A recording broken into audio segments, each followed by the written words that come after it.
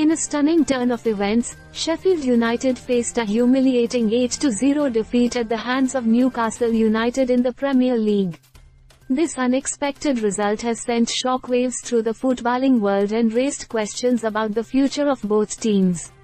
Let's delve into the details of this extraordinary match and its implications. The match between Sheffield United and Newcastle United was anything but competitive. From the very beginning, it was evident that Newcastle was in control, dominating possession and creating numerous goal-scoring opportunities. The first goal came early in the game, and it set the tone for what would become a relentless onslaught by the visitors.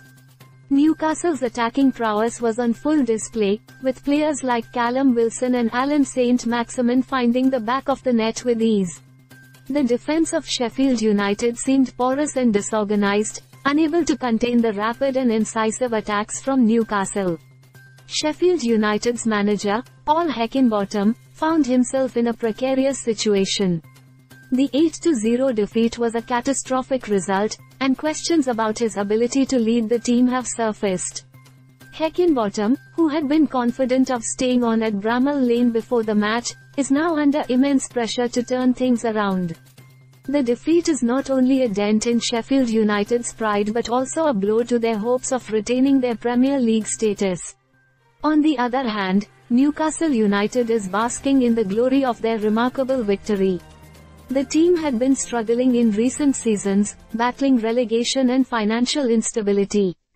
However, this 8-0 win sends a strong message to the rest of the league that Newcastle is a force to be reckoned with.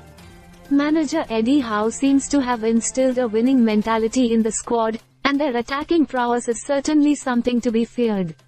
This shocking result has significant implications for the Premier League as a whole. It serves as a reminder of the league's competitiveness, where even the underdogs can produce astonishing results. It also raises questions about the disparity in quality between the top and bottom teams in the league and the need for a more level playing field. The Sheffield United vs Newcastle United match will be remembered as one of the most one-sided affairs in Premier League history. While it has left Sheffield United in turmoil, it has rejuvenated Newcastle United's hopes for a successful season.